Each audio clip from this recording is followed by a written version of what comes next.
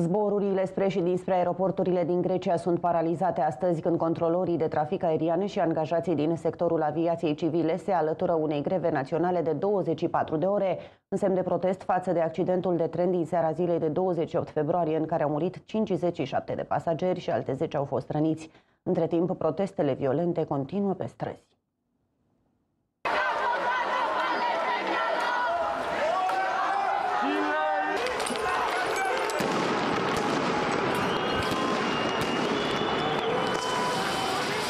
Protestele din Grecia durează de mai bine de două săptămâni și se pare că nu vor înceta curând. Greva generală de astăzi, declanșată de cele mai mari sindicate din sectorul public și privat din Grecia, este ultima dintr-o serie de proteste față de guvernul conservator și o clasă politică ce a ignorat în mod repetat apelurile sindicatelor cu privire la măsuri de siguranță. Companiile aeriene Aegean Airlines și Olympic Air au anunțat că au fost nevoite să anuleze toate zborurile pe rute interne și internaționale programate pentru ziua de astăzi. În total, sute de zboruri ar urma să fie afectate pe cele aproximativ 40 de aeroporturi din Grecia. Și Tarom a transmis că a anulat zborul către Atena. Ministerul Afacerilor Externe a anunțat că românii care întâmpină probleme se pot adresa secțiilor consulare din Atena și Salonic, fie telefonic, fie online. Greva va afecta și transportul maritim, astfel că navele vor rămâne la chei în porturile din Grecia.